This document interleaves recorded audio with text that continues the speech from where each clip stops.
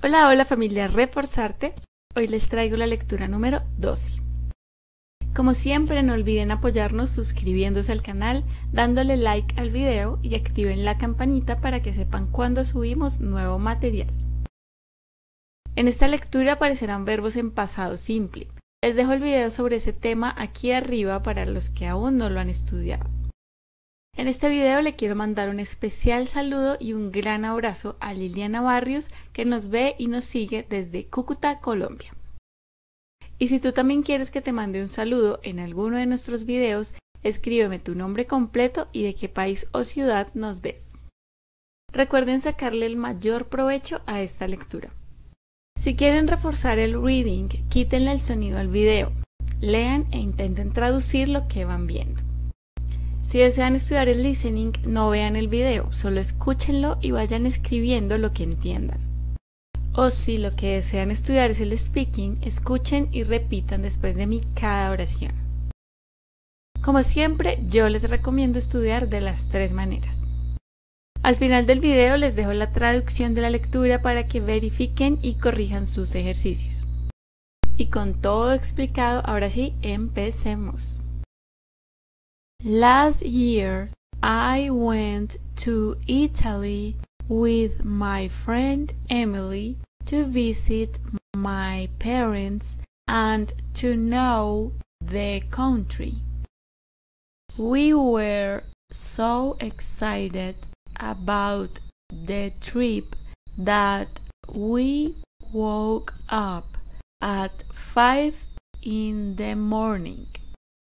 When we were on the plane, I read an interesting book about the history of Italy. They spoke about a castle that is among the trees in an old forest of Milan. People say in that castle live strange creatures and animals. I was very impressed and I wanted to know that place because I really like adventures. When we got to my parents' house, I was exhausted and I slept all afternoon. The next day, we went to a beautiful restaurant that had delicious food. I ate fish and chips and drank red wine. Emily ate mushroom and chicken with orange juice. My parents ate roast beef, mashed potatoes, and drank strawberry juice. I told my parents about the castle and they were very scared. They didn't want to know it, but Emily and I were decided to go. The next day, we went to the castle and we were very excited to know it. The castle was big and white and it had little purple windows. We were looking at the castle from the outside when I saw a strange figure in one of the windows. Emily and I ran into the castle to see what it was, but when we got to the bedroom, there was nothing. We were very sad and disappointed because we wanted to see one of the creatures. When we decided to go, we heard a little voice, but we didn't understand what he was saying. I looked at the window and saw a little figure. It had big green eyes, purple hair, and his skin was white. We were really scared and we didn't know what to do. The strange figure started to talk and said, Don't go. If you want to know the second part of the story, subscribe to the channel and don't miss the next reading. Ahora voy a hacerles unas preguntas sobre la lectura para poner a prueba su comprensión de lectura. Escríbanme las respuestas en los comentarios y se las estaré corrigiendo con mucho gusto como siempre.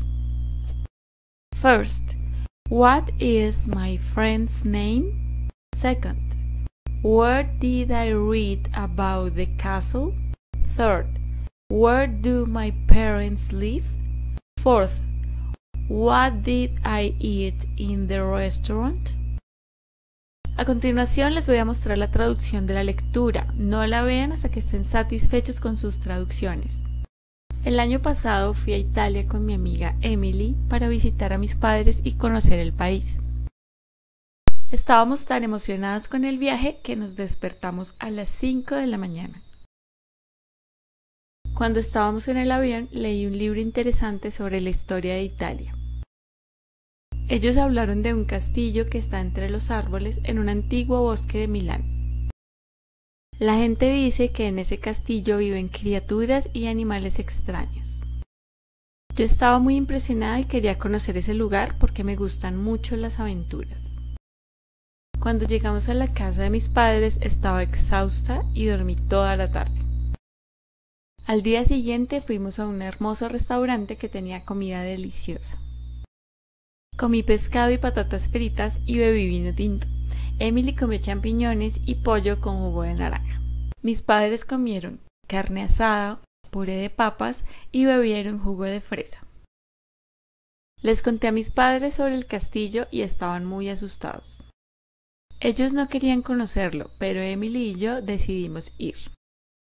Al día siguiente fuimos al castillo y estábamos muy emocionadas de conocerlo. El castillo era grande y blanco y tenía pequeñas ventanas moradas.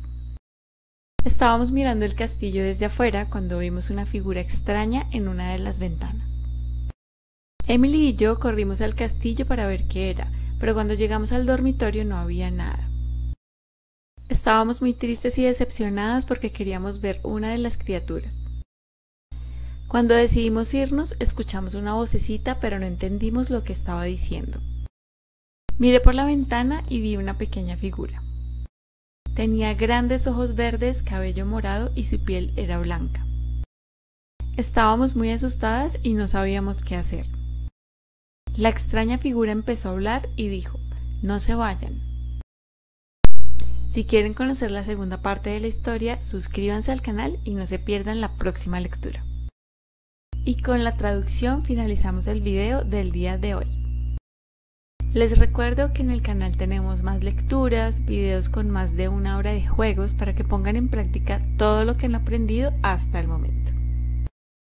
También tenemos dictados, videos de vocabulario y retos para que aprendan vocabulario con nosotros mientras se divierten. Y además les recuerdo que pueden ganar una clase conmigo cada mes. Les dejo el video con toda la info aquí arriba. Y eso fue todo por el video del día de hoy familia. Les mando la energía más bonita, un grande, grande abrazo y nos vemos en un próximo video familia.